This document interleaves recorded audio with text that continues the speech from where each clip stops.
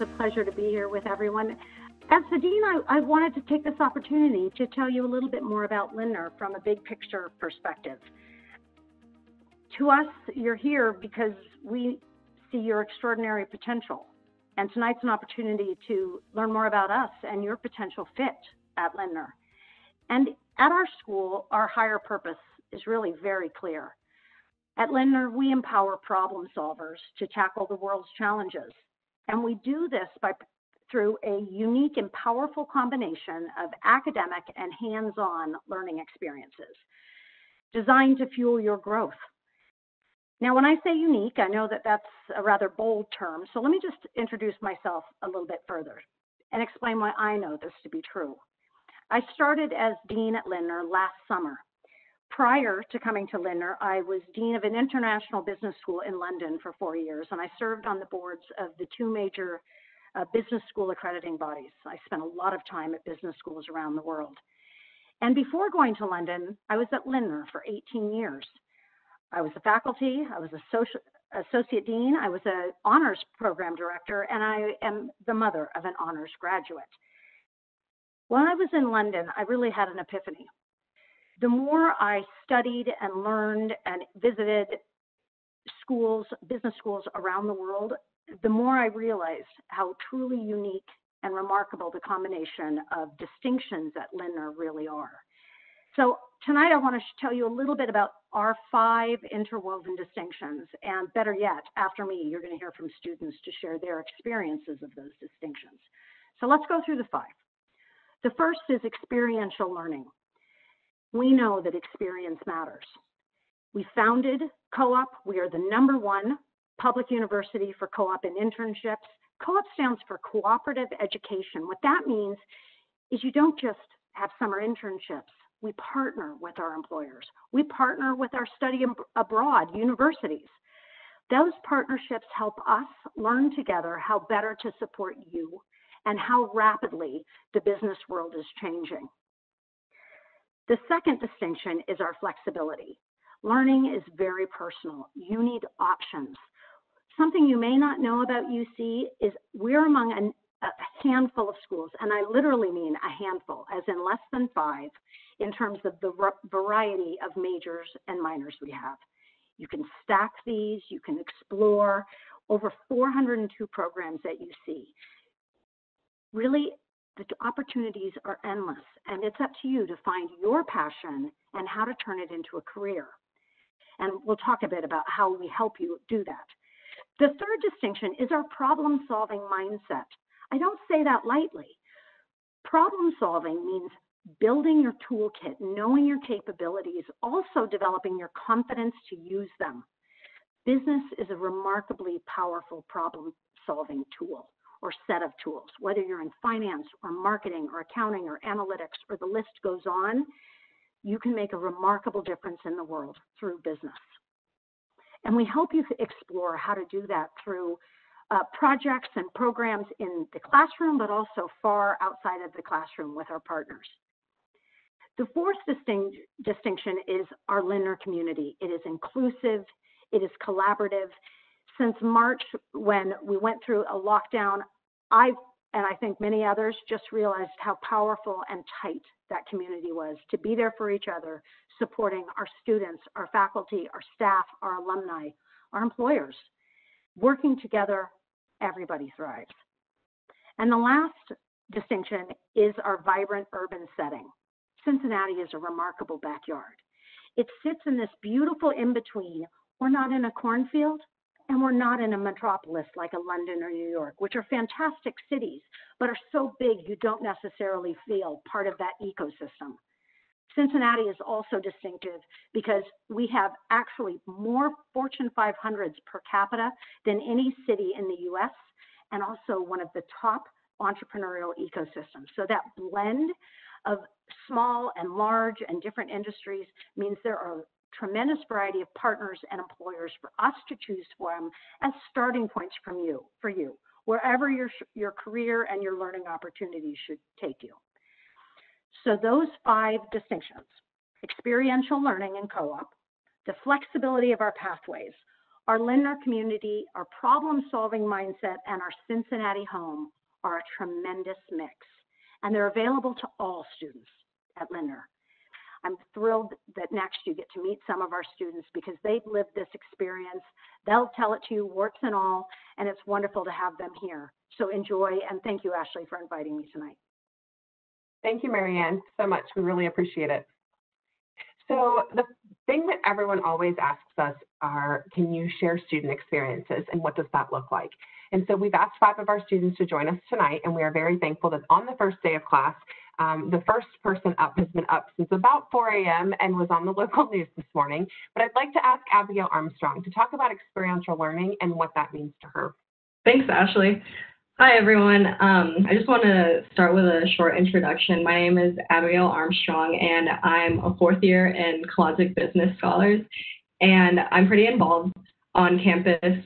And I also had a few co-ops. My first co-op was at Fifth Third Bank, and then I worked for Delta Airlines. And after that, I went to Ernst & Young. And then I decided to um, do a co-op abroad at Brand Finance in Singapore. And then my last and most current co-op um, was actually with Microsoft. So coming into UC and just going through choosing schools, what stuck out to me was the co-op program. But what I didn't realize about the co-op at UC was just the whole experiential learning aspect. And I didn't realize how many co-ops I would end up doing and that I would end up co-oping in different states and also in a different country. And not only was I doing these co-ops in really different places and um, experiencing different industries that I was interested in, but I also got to study abroad and just have my experience widened by getting to take classes and participate in various different lengths of study abroad opportunities. But what I really love about experiential learning is just that I really got to test drive everything that I came into college interested in, but didn't really know um, a ton about. Like, I came in as a finance major and also an international business major and switched many, many times. And a lot of those I wouldn't have figured out um, if I hadn't have had these experiences. And really getting into a real workplace and just trying out what I've been studying and getting that experience has made all the difference in my college career. And what really makes all of us stand out here at Lindner is the amount of experiences that we have that are so unique. It can really start as young as you want. Um, I started my freshman year after um, like following my freshman year, that following summer was when I had my first experience. And I know that kind of just opened up the door for many more opportunities to come. And I'm really proud to say that it, through that experience, I ended up landing at my dream company in the end. So, all in all, experiential learning has really shaped my whole entire college experience. And it's funny, like looking back on it now as a fourth year, I had no idea that I would do this many co-ops or like even just fit all of this in in such a short amount of time. But I'm really proud to um, have gone through it all and don't have any regrets about choosing Lindner. So thank you all for listening. Thanks, Abigail. So now that you've heard from Abigail about experiential learning, you really get to see how much more beyond the classroom Lindner really is. And so one of the things that we need to do in order to do all of these different things that Abigail discussed is have flexibility in our programming. And so we've asked Ayan to come and talk about his experience and what that looks like in the realm of flexibility. So Ayan? Hello everyone, this is Ayan Ajmal, currently a third year student at the College of Business and an international student from India. Right now, I'm majoring in industrial management, information systems, and international business with minors in marketing and finance, and a certificate in family business management and business law. Apart from that, I'm involved with the undergraduate student government and Alpha Kappa Psi, which is a professional business fraternity on campus. So, how do I do it all? Good question. Phenomenal question. Right now, I would say a little bit of the credit would go to my time management, but a majority of the credit goes to the staff and the faculty of the university and the College of Business. Because here at UC, and especially at the College of Business, they recognize that everyone's different and they are willing to work with you and go the extra step to make sure you get what you need to excel in this in your college life not just academically but professionally personally in any aspect i can assure you i am a perfect example of this because while coming in i wasn't sure what i wanted to do at that time i chose information systems as my major because it just seemed logical then. But after I was here, I found myself in my advisor's office three to four times a month trying to figure out how can I add more majors like the things I wanted to do and how can I make the schedule work? And she was always willing to work with me and understand why I wanted to do things and she made sure I got the best of my college experience. She was always very flexible and understanding and helping me out. She spent a lot of time helping me like make my schedule and make sure i can get things done in the right way and that's just one example of my advisor there are countless countless examples of such similar help that i've gotten throughout my journey so far. Another example I could say is this past summer I was uh, supposed to go on a study abroad trip. The study abroad trip did not happen, but if it was to happen, the dates were clashing with some of my summer classes. So I reached out to all my professors and explained them I was going on this trip and it was really important to me and why was it important and all of them were more than willing to work with me to make sure I can finish my classes a little bit early and go on the trip. And that's another example of how flexible the staff and the faculty is for the College of Business.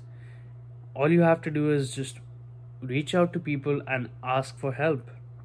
And I can assure you, nobody is gonna say no to you. Everyone's more than willing to help you out in any situation and work with you one on one to make sure you reach your best potential. And that was my journey so far. You're gonna have your own journey, which may look like mine or it can be completely different. But it's all okay because College of Business and the faculty, staff, everybody in this university and the college is gonna really recognize this fact that your journey may be completely different than mine and still help you out and make sure you have the best of your college experience. Thank you for listening to me. Have a good day and stay safe. Thank you, Ayan. So next up, we really have to think about who supports all of the students that are doing different things within the college. And so one of the things that we think about is the whole entire Lindner community. And so how can students get involved in different things? How can they test what they want to do, how can they meet more people. And so I've asked Matthias to come and talk to us about what that looks like um, for him. So Matthias, would you like to start? Yep. thank you very much. Uh, hey, what's up, everyone? Uh, thank you all for coming out tonight. This is uh, very exciting as ambassadors seeing the new class of prospective students come around. Uh, my name is Matthias Merida, and I am a second year uh, Lindner Honors Plus student, uh, majoring in finance and hopefully I'll be getting my master's in business analytics. So today I'll be talking about the community aspect of the Lindner Honors programs and why it's so important. Through Lindner, I've gotten very involved in different clubs and organizations such as Lindner Student Association, which is known as LSA, Lindner Ambassadors, and Business Fellows. So LSA serves as the internal governing body of Lindner, and I had the awesome opportunity to serve as senator on the exec board and and represent Lindner in Student Government Senate. Lindner Ambassadors helps out the Lindner admissions team through various projects such as honors interviews, uh, tours, presentations, and more. Uh, the Business Fellows community is dedicated to supporting African American, Hispanic, Latino, and Native American students by providing access to a network of resources and opportunities and ultimately a small and friendly home within the large college. I've met some of my closest friends to this day through my freshman year business fellows class in our Toronto, Canada trip, where we got to travel there and learn about various companies, uh, such as a few local startups, uh, PNC, and Ernst & Young, which is where I'm working currently. Speaking of business fellows, uh, they work closely with the Office of Inclusive Excellence in Lindner. Uh, the Office of Inclusive Excellence manages programs like Business Fellows, Lindner Women in Business, and Pride at Lindner. Aside from these great clubs in Lindner, uh, I wanted to talk about the community aspect of the Lindner Honors Programs, which I think separates Lindner from a lot of other business schools. A large majority of my closest friends that I've made through college are in the Lindner Honors Programs. Uh, we all lived together as part of our learning community in Morgens, which was the time of my life. Um, living with these people in Morgens was was a blast. We we had movie nights together all the time, woke each other up for classes. We we had friends giving together and helped each other with classes and more. Uh, finally, uh, what I think is the coolest part of the Lindner Business Honors program is the vast network you are tapped into. Uh, Lindner Business Honors has been a program that has been around for a while, and so as the years progress, uh, the network gets bigger. I can't tell you guys how many times I've called up uh, an older LHP student for advice on an organization or a co-op. Uh, these are people who have been extremely involved in clubs and who have gotten insane co-ops in incredible locations. And every it's it's like everyone likes to hang to help out, so never be afraid to reach out. The various clubs in Lindner, the honors programs, and the people that make this college of 5,000 students uh, make it seem small and, and give it a family feeling, which is awesome. Uh, and so yeah, that's basically my little spiel on the honors program honors programs here. Uh, thank you all for coming out, and yeah. Thank you so much, Matthias. We appreciate it. So when we think about building future problem solvers, we have to really figure out how does a student do that? And so when you're 18 and you're coming into college, what does that look like and how do you really build that up? So we've asked Grace Kesters to come and talk to you a little bit about her experience and how building a future problem solver fits in with hers. Thanks, Ashley. Um, hi, everyone. Like Ashley said, my name is Grace Kesters. I'm a second year here at Lindner. There's a bit more detail about me um, on the slide, but I just wanted to use my time to tell you a little bit more about my story. I was pretty much born and raised a Bearcat. My dad's an alum, and my sister is actually going to be graduating from Lindner in the spring. So I was pretty excited to see what all the hype was about. And I can honestly tell you that choosing UC was the best decision I've ever made. And not for the cliche reasons like the friends I made or the clubs I joined, but specifically because of how hard the faculty and staff work to make sure their students are prepared for what comes next. Just as you all will soon do, I began my classes and what Lindner calls the first year experience. I'm not sure how much you've heard about this. Um, you'll probably hear a lot more about it in the future, but essentially it's a series of projects that force you to work collaboratively with other students and businesses in the area and create solutions. During my very first semester, I was able to work with Chick-fil-A for Wright in order to um, perform a SWOT analysis and provide them with strategic recommendations on how to improve their business. I also worked with Nehemiah Manufacturing in order to help them solve a little problem they were having with their inventory. During my second semester, I worked with a different group of students in order to uh, perform an IQE pitch, which essentially we created an entire business plan from scratch. We, my team and I pretty much ended up pitching an idea for a reverse vending machine with the hopes of making it easier to recycle on campus and incentivize students to do so. Even outside of the curriculum, I problem solved when, like many other students, my plans for the summer got changed last minute. I was supposed to be with Great American Insurance Group, um, which ended up getting canceled due to COVID, but I reached out to a couple of my professors during the first year and um, my career coach, and they were really able to provide me with different resources um, and allowed me to find ways to still make use of my time and use my time to my advantage this summer. If these past 12 months have taught me anything, it's that we need to be prepared for everything. Whether it's a small technical glitch or a worldwide pandemic, we need to be able to adapt and keep pushing forward. Luckily, the Lindner College of Business has been doing this all along. As a business community, we're focused on finding new, innovative solutions to problems that might not even exist yet. Building the future, for all, future problem solvers of the world is not just one of the pillars we're going to talk about today, but it's one of our strengths as a school, and it's something you'll use every day as a student here and every day in your professional careers. As a second year student, I already recognize the importance of being able to solve problems, and I'm excited to see what might come next. I wish you all the best of luck as you begin your journey, and I can't wait to see what you all accomplish. Thank you so much, Grace. That was great. So the last pillar we're going to talk about with our current students is why is it important to be in an urban setting like the city of Cincinnati? And so I've asked Brian Kemper to come talk a little bit about his experience as someone that is later on a little bit. So he's doing an MS program. And so we've asked him to come share kind of the total looking back on his experience at Cincinnati and why it's been important to be in the city. Brian? Yes, hello everyone. My name is Brian Kemper. Uh, thanks, Ashley. Just like she said, I'm a fifth year right now, so I'm doing my Master's of Science right now in finance. Um, so I've done four years of undergrad at UC and I've loved it um, so much, I guess, that I stayed around to do my Master's here for a fifth year. Um, so the big pillar that, you know, I was kind of picked to talk about was the city of Cincinnati, kind of what that means. So throughout, you know, throughout my high school career, um, you know, I really kind of wanted to go out of town. So sorry, I was born and raised right here in town and I wanted to find, you know, a city that was exciting, had a lot of energy, and was just a good place to be.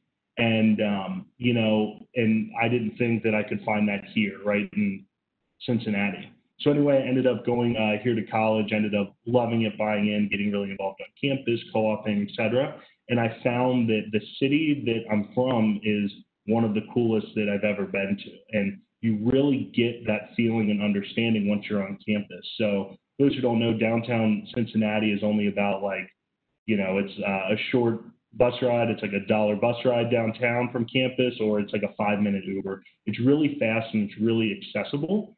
And to do that also just opens up so many doors for students. So I had the privilege of uh, co-oping at Kroger. Uh, I was in their capital management department. Kroger's headquartered downtown, along with I think eight or nine other Fortune 500 companies.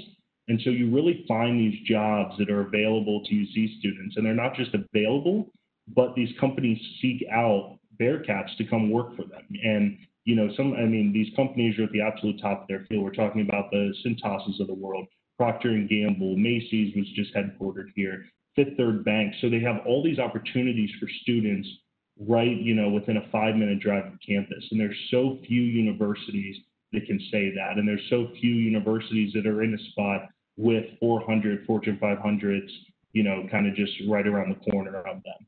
Um, and you know, aside from just kind of the job aspect, the city of Cincinnati has also just been booming. You know, I mean, when I was growing up, even in high school, it's it's nowhere near to where it is, you know, right now in my fifth year of college. Um, the nightlife is amazing. We have great sporting events. The suburbs area around town are also a really fun place to go. And, you know, I ended up turning down some jobs from Washington, Atlanta, uh, one in New York because I wanted to stay here. I like the energy. I like that we live in a growing entrepreneurial city, and it's uh, just a really great place to be and a really great place I'm excited to start my uh, full time career at.